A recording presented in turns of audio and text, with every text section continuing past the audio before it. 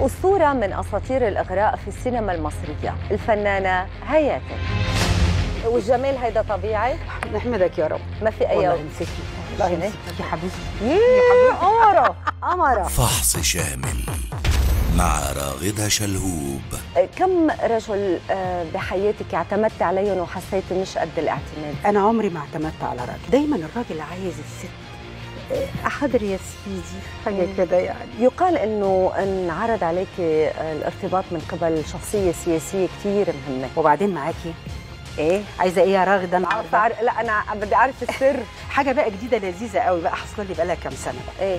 شباب صغيرين جدا. اللي زوجتيهم كانوا مقتدرين؟ يعني كان آه طبعا. آه. هروح أتجوز شحات. يقال كمان إنه انعرض عليك الزواج من شخصية ثري عربي.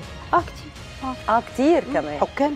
شو مذكرة هدية كثير ثقيله والله جاني قصر في سويسرا. رفضت التعامل مع الأجهزة الأمنية مثل بعض زميلاتي خوفا على سمعتي.